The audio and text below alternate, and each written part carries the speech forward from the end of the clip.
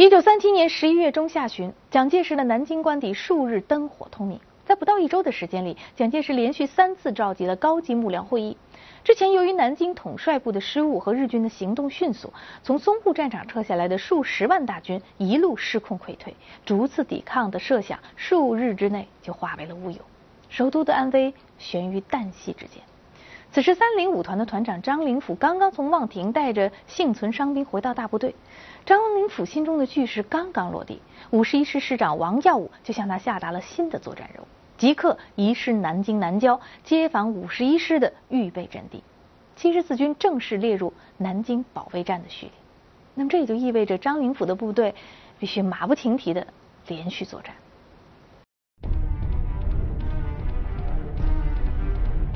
保卫首都南京，在当时有很多将领是有很大意见的。但是南京统帅部最终决定，象征性防御改成了永久性防御。唐生智要打嘛，李宗仁说不打。李宗仁说这个地方没这么好守的，一边是水，三边都是平地，并且刚打了这么大个败仗，没这么好守。唐生智一定要打。因为南京在这个就是说在在国民政府年代，它具有一个高度的这个政治的象征了。这一方面是我们国都，一方面是这个孙总理这个身后这个安安安详之地，对所以我们啊不管怎么惨重的牺牲，必须要这个坚守这个南京城。可以说七十四军是在淞沪会战中成军的。原来的他还不是一个就是说很强的部队，当时他的那个部队的那个从战斗力还是怎么讲啊，还有他那个素质来讲。大概属于这个呃第二类的部队，还不属于一流的部队，二流的这么一个部队。七十四军当时同比其他嫡系部队而言，它的装备是非常差的。从淞沪战场撤出后，也没有任何休整，可以说是一支疲弱之师。我的这些部队是一些什么呢？是从上海撤退下来之后，啊，由田间壮丁补充的。都是些田间壮丁。什么叫田间壮丁？就是前一天还在拿着锄头耕地的，第二天被我抓进军队里了，被我们弄进军队里，给他一杆枪，让他跟我一起上战场。这些人可能连瞄准都不会，怎么样扣扳机是头一天才学会。啊，这个是王耀武的那个给军令部的战报里是他讲的。啊，就是他的七十四军和我，包括张灵甫的三零五团在内。军长于继时和师长王耀武对固守南京并没有信心，但是此时刚刚到达南京南郊高桥门的张团长却正肃立队前，集合全团官兵向中山陵摇拜，并宣誓要与首都共存亡。十二月四号，日军猛攻南京南郊的淳华镇，八号，守军七十四军三零幺团几乎全军覆没。淳华镇失守，王耀武立即命令张灵甫率三零五团向淳华镇后方的管头上方镇推进，掩护师主力转移。淳化可以说是进入南京的一个大门。当淳化线垮掉的时候呢，就是后面整个是空虚的。那在这个时候呢，张灵甫他本来他去顶这个缺口的时候，顶住这个缺口的时候，那当然就没有任何国防公司可以依托了。他作为一个预备队的团长，他还是向这淳化线的被子定要突破的缺口去猛烈逆袭。那也就是他在猛烈的逆袭之下呢，这个这个这个他没有日军没有办法很快的就去扩张这个战果。对方来冲的话，你就知道那个我们日军的一般的那个冲锋冲呃就是进攻模式一般是呃飞机轰炸，然后炮击，最后是步兵冲锋。张灵甫带他三零五团一个团，说是南京是我们的首都，如果我们把首都保护，那我们算什么？就国军啊！我们要用尽最后一切一点血啊！干儿本人追死战。或那个异于常人的企图心，你在这个溃退的当口，你反而可以往往往前去逆袭，这个是很困，这个是很困难的事情。张灵甫迅速组织敢死队，自己端起冲锋枪。亲自率队向日军发起反冲锋，战士们在张灵甫革命精神的感召下，也异常英勇。他在打仗时也带头往前冲，就说哈，他是这到了最这个最最严重对对激烈时候呢，张灵甫的哈，现在我们讲叫身先士卒的感觉嘛。就是他的那个左臂受受了枪伤，贯贯穿伤吧，应该是贯穿伤，贯穿伤。所以他当时他说了也是说了一句，呃，豪言壮语。当时周围的领导暂时叫他去渡过长江回西安看病，当时西安不是后方吗？看病，他说我不能，我不能过江。当年的项王这个兵败。以后都不愿意渡江，我我有什么理由？我有什么那个道理去渡江回去去去去去去看病？我要咋办？以生死来实现我啊他自己所说的话，他自己发的誓吗。在张灵甫负伤后，又与日军鏖战了三天三夜，稳稳守住了华严寺。三零五团成为南京中华门前的一道坚强屏障。因为他是一次重伤嘛，重伤后来是强制性的。余继时，咱们军长七十四军的余继时，看他好像脸色苍白，实在受不了了。他在这个回忆录里讲啊，是他看到张灵甫负伤了，然后强令张灵甫跟他一起过江去后方养伤。张灵甫不去，啊，说他是一个指挥官，他是一个团长，他有他的职责。余继时就把他的团长之后就给撸了。你现在不是团长了，跟我走吧。战至此时，南京保卫战的胜负已经没有了悬念。三零五团的弟兄们还在城内做殊死抵抗。被军长强制带走的张灵甫想起几日前与南京共存亡的誓言，顿时怅然欲泣。张灵甫离开南京的第二天，三零五团残部转至南京赛虹桥与日军继续作战。三零五团战至最后，几近全团覆灭。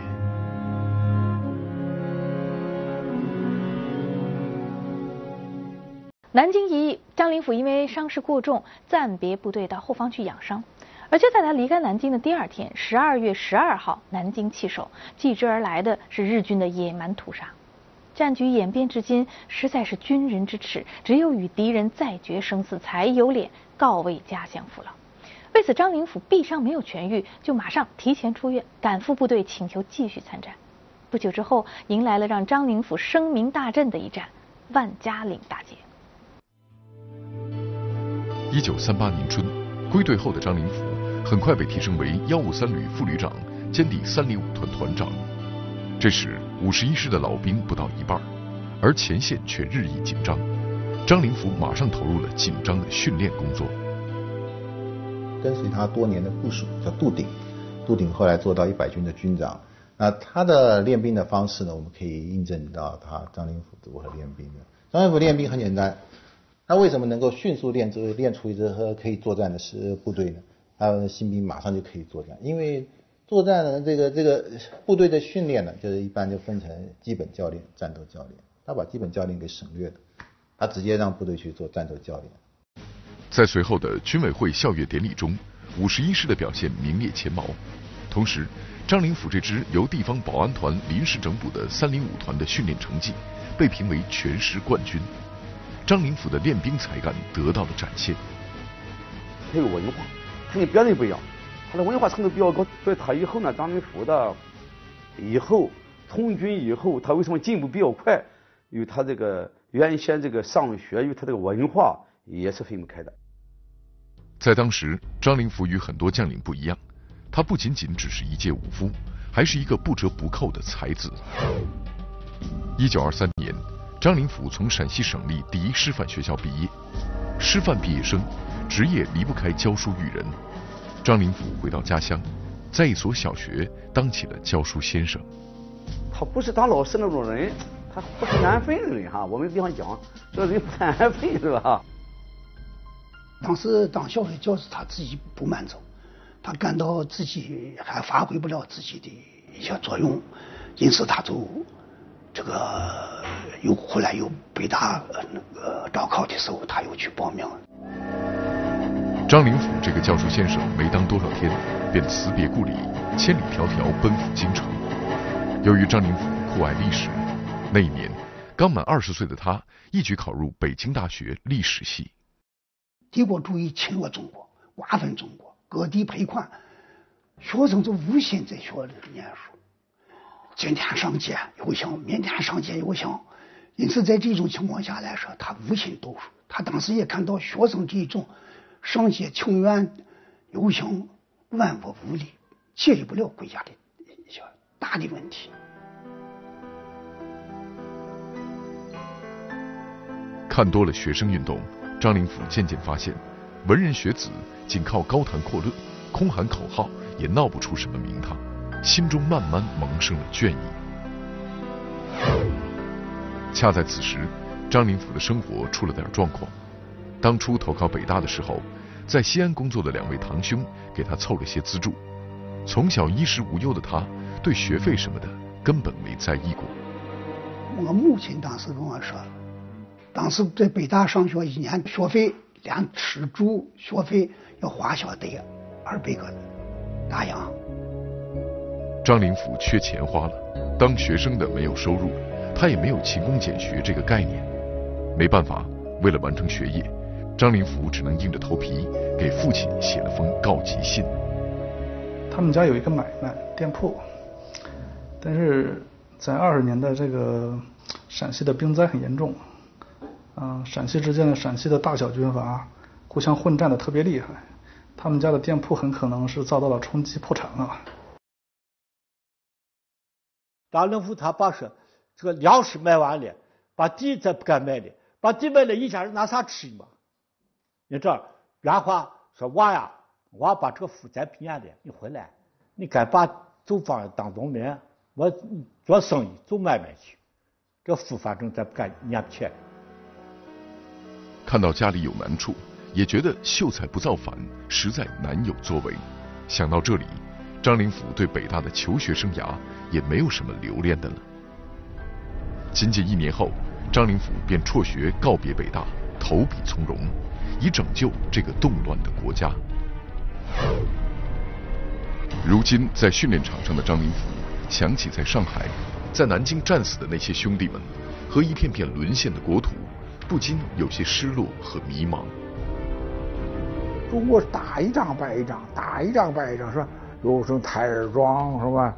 呃，还有什么平型关，这是打胜了，但是大局还是败啊。你说中国人打不过日本人吗？中国武器差，装备差，训练不好，还有各个派系。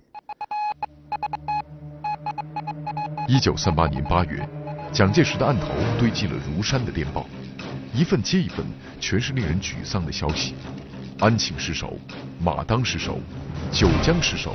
瑞昌失守，在武汉会战的时候，当时各战场都在失利，那当时非常需要一个一个一个胜利的消息，提振全国的军心士气。一九三八年九月下旬，日军王牌主力第十一军团司令官冈村宁次，命令其所属的第六、第幺零幺、第幺零六、第二十七师团，兵分三路向江西德安进犯。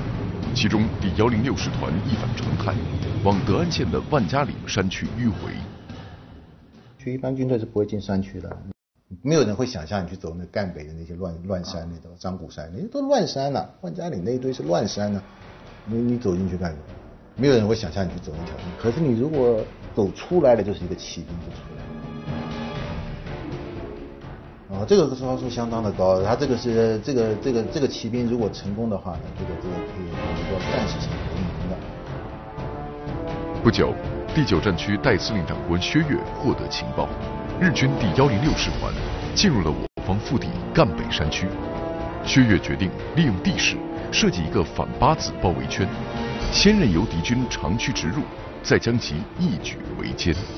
情报预判是正确的。啊，这个是他制胜的一个关键策略对了，但是还是这个骨头还是得要有一颗那个一口钢牙才能咬得下，它毕竟是一块硬骨头。确实是就是一个关键的棋子，他能不能用好，就决定了整个战役能不能胜。张古山的万家岭战役开始，七十四军起的作用就是决定性的了。就是说，如果这个战役里面没有七十四军的话，这个战役是赢不了的。十月一号起，七十四军五十八师便与敌人在此展开殊死较量，激战数日，反反复复，失而复得，得而复失，惨重的伤亡让五十八师再也无力为继。在这危急关头，能继五十八师担此重任的，也只有王耀武的五十一师了。要我先生去打，我先说这个仗不能打，他说日本人的。起码他的枪炮子弹都是呃比我比我们强，呃他说呃他在打不赢你的时候，他放毒气。然后攻张虎山呢，跟那个攻山头跟城池一样的，他要仰攻，就是仰面进攻，困难很大。你没有足够火力配备的话。你除了对你造成很大的伤亡之外，你也达不到攻取对方目目标这样一个效果。张古山易守难攻，又没有重炮火力的支援，无疑是一块难啃的骨头。在大家沉默许久后，张灵甫语气低沉地说：“师长，张古山就交给我吧。”在这个之前啊，张灵甫展现的可能主要是他的勇的一方面，因勇还没有说他的谋。对吧？还有谋，这是在这在在这次战役之中，他展示出他这种智勇双全的一面。张古山海拔不算高，但是山势陡峭，是万家岭战场的制高点，也是日军抵挡七十四军进击的天然的屏障。反之，七十四军如果打下了张古山，不仅可以彻底封死敌人幺零六师团的生路，更能居高临下的直逼敌人的核心阵地。张古山的得势关乎整个万家岭战役的成败。张古山自然的呢，也就成为了作战双方反复争夺的焦点。国军抗战史当中悲壮的一幕，也由此再次上演。在王耀武开会之前，张灵甫对张古山进行了一番实地勘察。张灵甫发现，张古山南斗北缓，日军的不备之处在后山绝壁。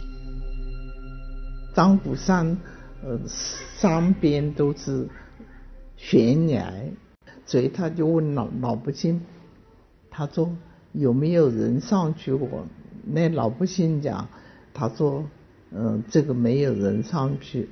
他说，嗯，那羊可不可以上去？他说羊可以上去。所以我先生讲，羊可以上去，人就可以上去。面对后山绝壁，这位北大历史系的高材生立刻想起史书中的经典案例。我母亲跟我当时说，他一看就是一到看的也很深才睡觉。天不明，他我目前没起没起来的时候，他又爬到那地方去看书会写字。他对这个就是酷爱这个也酷爱文学。他跟我母亲经常讲《三国》里头的故事。他说他那个《三国演义》里面有一段，就是那个姜维守剑阁。十万卫兵都拿他没办法。那个魏将邓艾偷越阴平险道嘛，就从他那个后面偷越过去，他就用了这个典故，然后他他他得到了这个呃王耀武的批准以后，他指挥突击队从那个张古山的背后绕上去。在张古山，日军守军近千人，从峭壁偷袭可行，但是在兵力和地势上，张灵甫是处于绝对劣势的。对此，熟读兵书的张灵甫心中有着自己的盘算。这是张灵甫他使用的进攻战术，叫宽大正面进攻战术。我的打法告诉你，呃，东西南北四个方向都是我的重点，就是我不让你搞清楚我的我的突击你从哪一面突击你，让你防不胜防，就叫宽大正面进攻。当然，它实际上是有重点的。它的重点，但是它的重点有一支突击队，他他把它隐藏在那个阵型后面，他先他先探测你的防守重点在哪里。这次张灵甫先命三零五团从正面佯攻，以吸引日军注意力。当日军投入激烈的正面防御时，再从后山冲出精兵。然后我先是呃，就晚上带几百人就上。从悬崖爬上去，那个时候中国很穷的，就每个人身上带满了这个手榴弹，啊，他就到了大概三两三点钟的时候，他们已经在山顶上。啊，我先生一下喊冲，他他们都把那个手就让堆底下，就把那个日本人炸的，穿裤子都来不及。如果你正面不吸引他火力的话，日日军也是比较擅长夜战的，他也不怕你。所以他正是因为他正面吸引了对方的火力，然后他从后山，他才能起到这种叫呃托起自身的这样一个效果。激战没有进行到天亮，张灵甫就彻底占领了张谷山阵地。更残酷的战斗发生在占领之后，日军派出二十余架轰炸机轰炸张谷山，高密度的空袭使张谷山阵地全毁。从远望去，张谷山简直是一座熊熊燃烧的火山。但是日军在这方面并不甘心，派的飞机轮番轰炸，可以说是张谷山上都是尸山血海啊！这个真是呢，最后日本人咋万一又把他夺回夺走了，他又组织敢死队又冲上去。战后，一位国军军官曾描述道：“日军炸弹不是由飞机上丢下来的，是一筐筐倒下来的，可想当时战斗的惨烈。”国军只能在晚上，因为国军缺乏制空权。啊，晚上攀着藤、扒着树攻上去，白刃战将日军赶下来，消灭掉。白天天亮了，日军的飞机能见度够了，飞机过来一轰炸，留在山头上的士兵全部都死掉，日军再站上去。第二天晚晚晚上，日国军又攀着藤、扒着树攻上去，白刃战，嗯，然后占领山头。天亮了，日军又来，又全部战死，就是反反复复是这样子。张谷山是日军第幺零六师团的唯一生路，日军必然会以死相争。对于张灵甫而言，张谷山是为在望亭、南京死去弟兄们报仇的机会，是救国救民的机会。张谷山之战成为了一场意志之战。就是张灵甫带领的这个旅，他的战斗意志。是远远的，是其他的部队所没有办法比的，就是敢死的去这种敢死的精神，一波死了，一波又上，一波死了，一波又上，其他的部队很难看见这样一种精神，啊，反反复复在这里拉锯，然后堆尸体。此时不占任何优势的张灵甫，唯有以黄埔敢于牺牲的革命精神与日军对抗。身为少将旅长的张灵甫。亲自与日军展开了白刃肉搏战。白刃肉搏的时候，因为白刃在拼刺刀嘛，这个是最考验人的胆量跟那个勇气的时候。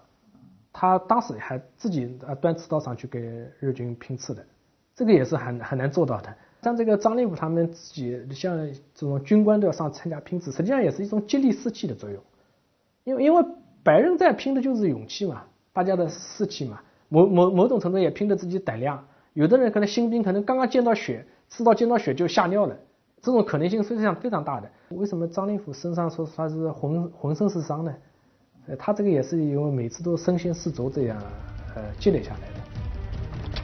日军一而再再而三的持续增援，战斗持续了五天五夜，张灵甫部也付出了惨重的伤亡。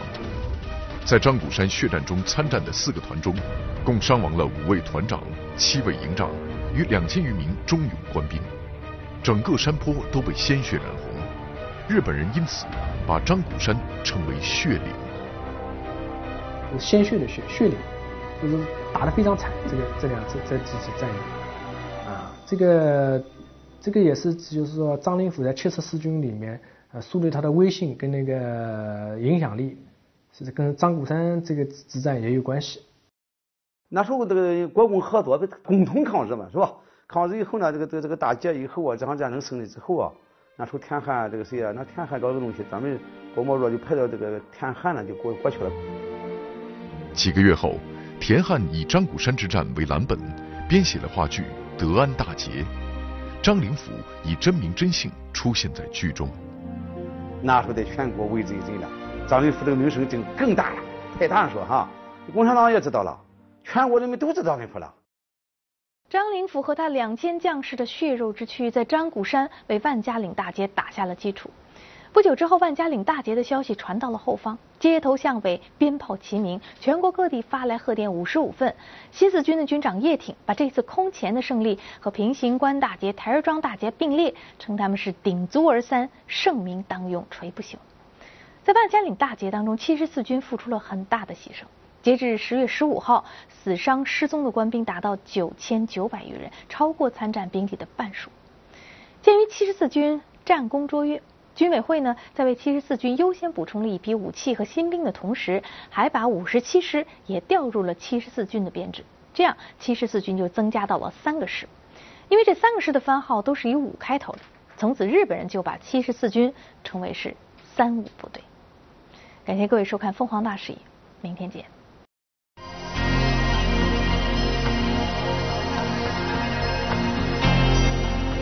接着为您播出红牛维生素功能饮料特约之腾飞中国。